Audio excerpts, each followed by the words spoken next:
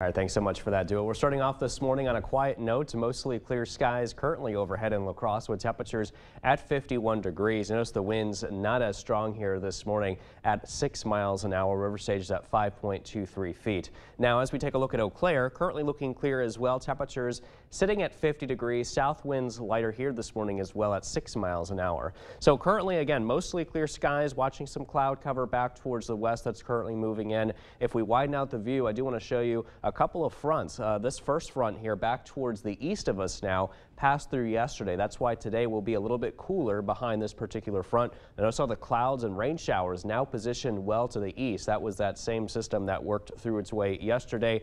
I am watching this next cold front though back towards the west.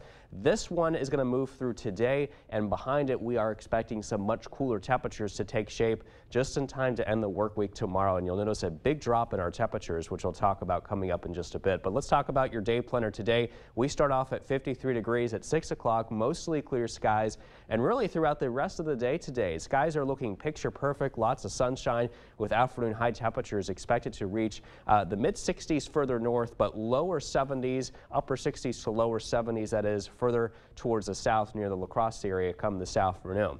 So as we take a look at Sky Tracker, there's the front moving through the Coulee region as we head into the late morning to early afternoon hours with just a few passing clouds in the wake of that front as we head into the rest of the day today. We could see the clouds slightly increase though across portions of the Chippewa Valley, maybe a slight chance of a shower that could move in as we head into tonight into early tomorrow morning.